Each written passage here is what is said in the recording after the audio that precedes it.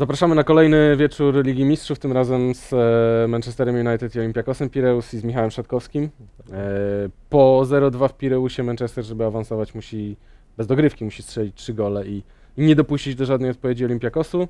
No, po ostatnich tygodniach z życia Davida Moysa jest to scenariusz dość mało prawdopodobny. Dlaczego byśmy nie powiedzieli, to, to, to wyjdzie na to, że się znęcamy nad Manchesterem, no bo to, co się ostatnio dzieje, e, to już nawet nie chodzi o wyniki, bo w, wyniki to jest, to jest jedna historia, a, a i gdybyśmy mieli analizować te wyniki z ostatnich tygodni, to faktycznie Manchester nie ma szans na, mm, na awans do ćwierćfinału, ale jeżeli weźmiemy pod uwagę grę, to również nie znajdziemy tam, nie znajdziemy tam e, nadziei na, e, na pokonanie, na pokonanie Olympiakosu, no jeżeli jest tak, że w e, meczu z Liverpoolem, tym meczu, który przez, przez 20 lat dla Alexa Fergusona był to najważniejszy mecz zawsze, niezależnie od tego, czy, czy Manchester walczył o, o mistrzostwo z Chelsea, czy walczył e, z Arsenalem, czy w końcówce e, pracy Szkota z Manchesterem City. Dla niego zawsze najważniejszy był mecz z Liverpoolem. I Liverpool przyjeżdża na, na Old Trafford, wygrywa 3-0, a Manchester oddaje jeden cenny strzał.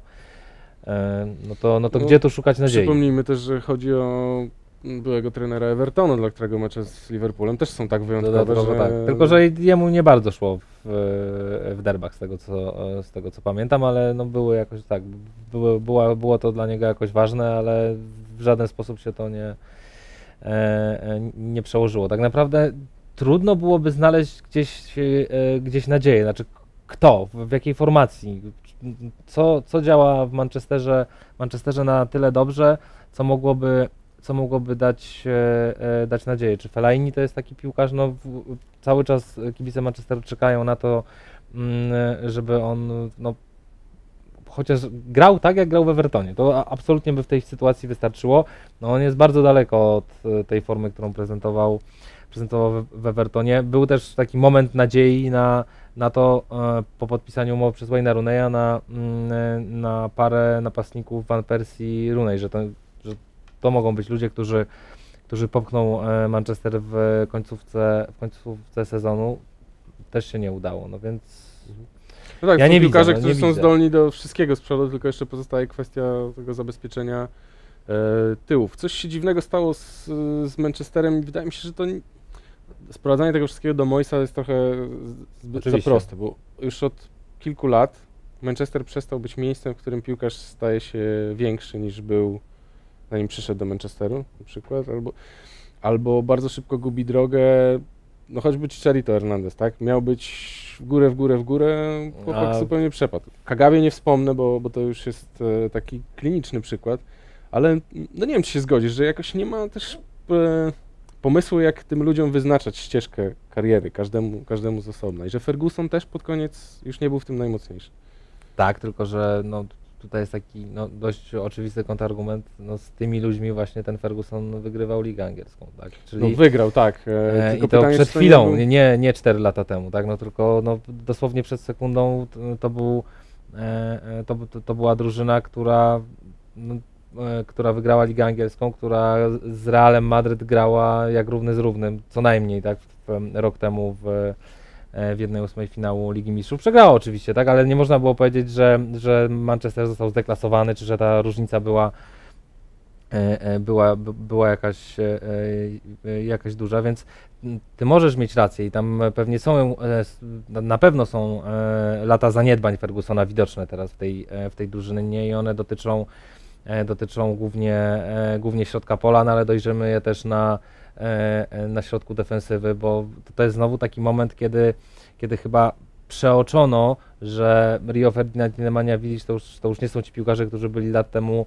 e, lat temu 5, no, a w kombinowanie pary Evans, Smalling, Smalling, Jones okazało się, że, że ci ludzie to nie jest jednak ten poziom Rio i, i Vidicia, a poziom Vidicia i Ferdinanda no to był poziom jednej z najlepszych par stoperów na świecie swego czasu, więc E, więc takich, takich zaniedbań jest, e, e, jest dużo. Jeśli o to mi chodzi, ja nie, nie, nie przekonuję, że David Moyes jest dużo lepszym motywatorem niż na przykład Sir Alex i nie, nie wiedzieć czemu to się rozpada, tylko że dostał drużynę, która ewidentnie potrzebuje przebudowania, może nawet zmiany strategii.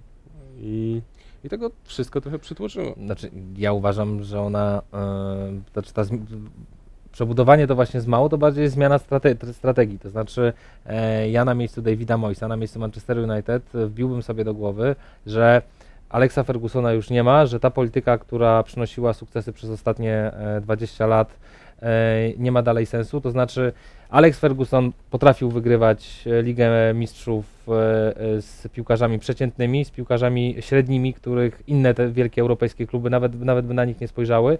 Natomiast to był Alex Ferguson, i, ale jego już nie ma. Znaczy teraz Manchester United musi trochę tak wejść w tryb Realu Madryt. Ja może trochę przesadzam, ale chodzi o to, że jeżeli, jeżeli Manchester potrzebuje, potrzebuje piłkarza, nawet jeżeli to nie jest nawet jeżeli to nie jest napastnik, ale jakiś e, no, uzupełnienie składu, to to nie może być John O'Shea, bo John O'Shea był dobry w czasach, e, w czasach Alexa Fergusona. Czyli musi robić Van Persiego rywalom, tak? Teraz za niego, teraz za, teraz za uzupełnienie składu, to Manchester musi zapłacić 20 milionów funtów. Tak się znęcamy nad tym Manchesterem, to jest teraz dosyć łatwe, no ale, ale ta sytuacja jest dramatyczna, bo jeśli Manchester nie odrobi strat z Olympiakosem, to... To koniec sezonu.